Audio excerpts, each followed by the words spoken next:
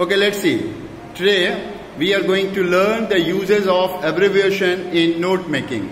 So in note making, as we know that the we need to extract the words from the uh, maybe uh, essay kind of a uh, article. So abbreviation makes us a little bit uh, comfortable to short the article. So here abbreviation helps in writing the information briefly.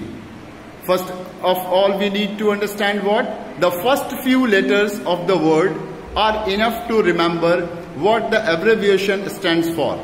Suppose if you want to write important and instead of important if you are writing IMP it means that this is called important. This is a symbol of important. Another one is information INF. INF if you are putting INF so it seems like that it, it, it means the information.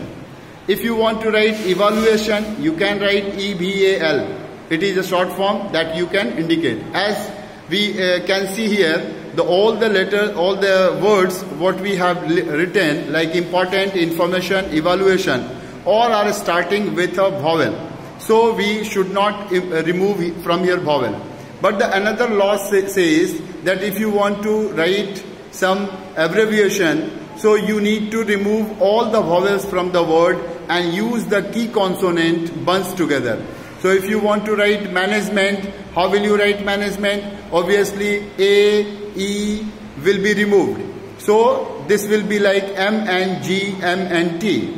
Market, M, R, K, T. So it stands for market. Marketing, M-R-K-T-N-G, it is marketing. And development, it seems like D, B, L, P, M and T. So it is called here development. Okay.